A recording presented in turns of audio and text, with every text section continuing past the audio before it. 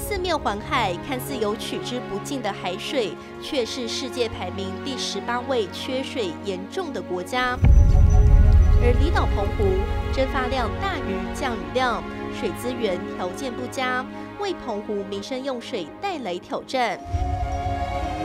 面对缺水困境，得透过水利建设优化岛上用水环境。二期海水淡化厂，那我们是去年哦，去年大概十月完工。那现在目前哦，我们每天大概生产大概六千吨的用水。澎湖马公市区每日用水量约二点八万吨，其中海淡水就占了二点二五万吨，包括马公第一海淡厂一点二五万吨，第二海淡厂一期和二期的一万吨，其余三成仰赖湖库水地下水供应，确保当地供水稳定。海水的那个抽取管是在外海大概六百四十七公尺，然后由我们这边抽进来，抽到利用重力流水从高往低处流的一个方式。那海水抽取站会离地平面我们大概十一米左右。抽取海水经过沉淀池沉沙。进入 UF 为过滤处理，透过 RO 逆渗透的过滤系统，就能将海水转化成可饮用的淡水。这个每个滤管里面有六支 RO 膜，经过这个滤管滤过以后，我们的盐水就会变成那个淡水。那这个淡水系统的话，我们会就会集中到整个那个清水池，然后供给民生用水去取用。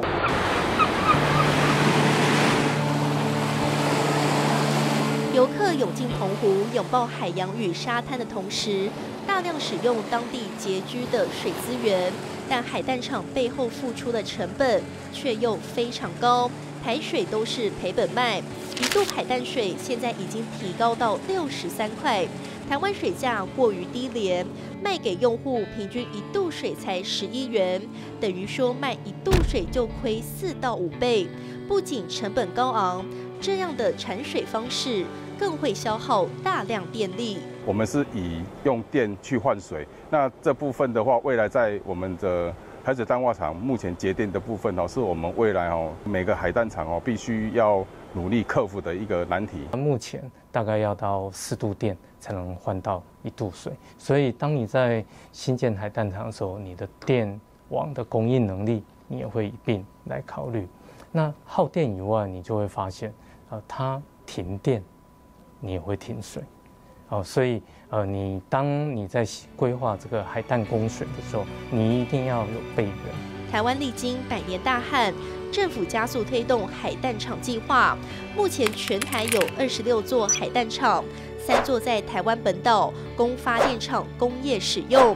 正在新建中的有台塑麦寮海淡厂，预计今年十月完工。水利署也规划八座万吨级以上的海淡厂，新竹、台南将优先推动，日产能各达十万吨水。而因应紧急抗旱需求，新建的两座货柜式临时海淡厂。未来也会视情况加入供水行列。去年南部大旱，高雄紧急海淡机组每日产出一点五万吨的淡水，优先供应给管线末端用户，缓解缺水燃眉之急。不过目前呢，机组是封存当中，后续会是水情需要再启用。我们也预备着说，以后如果有需要的话，我们还是可以再重新启动。那目前的部分，在这个固定的时间，我们会做定期的维修，保持它的功能会正常。抽取新达电厂外的海水，透过黑色水管传送到海淡机组，经过处理后产出的淡水，在去年南部大旱时供应新达电厂和北高雄民生用水。海淡水已列为我国重要水资源经营策略，但前内政部长李鸿源认为，建制海淡厂环境代价过高，高耗能、高碳排放量。淡化过程更需要大量用电，还会产出高盐度的卤水，似乎不是好的选择。要解决用水不足的问题，政府应积极新建再生水厂。污水处理厂全部盖好了，我们每天保证有三百万吨可以回收的水。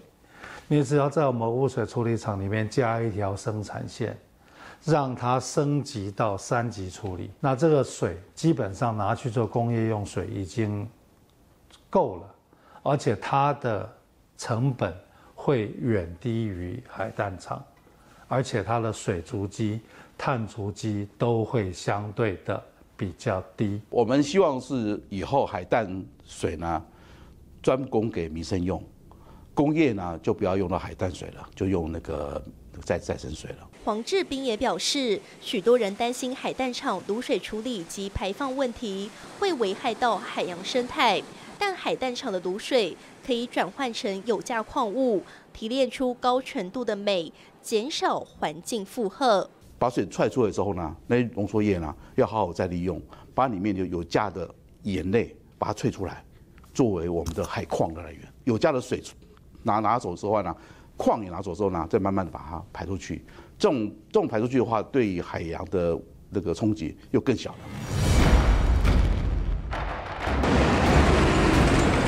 近几年，台湾受到极端气候影响，普遍缺水。面对未来可能的缺水新常态，除了再生水、海淡水之外，应持续开发多元化的水资源，提高供水能力。多元的水资源发展才是解决台湾用水问题的关键。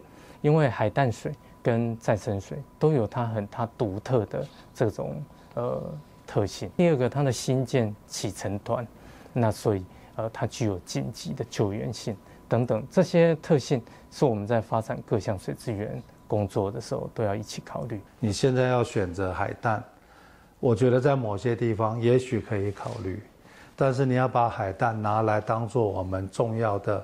水资源的利用，我会劝政府可能要慎重的考虑。你要考虑你的成本，考虑你的碳，考虑你所有的因素，还有一度四十块你要卖给谁？而且它水足迹非常高。假如我们把所有的东西都考虑了，这个再生水产污水全部回收了，然后还不够，那时候再来考虑我们要建海淡厂。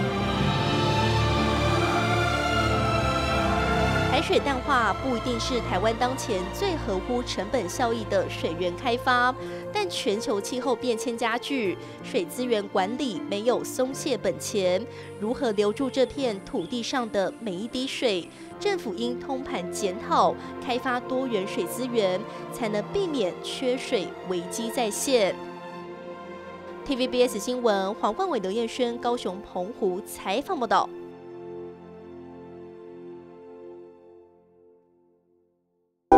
想看最完整的新闻内容，记得下载 TVBS 新闻网 APP。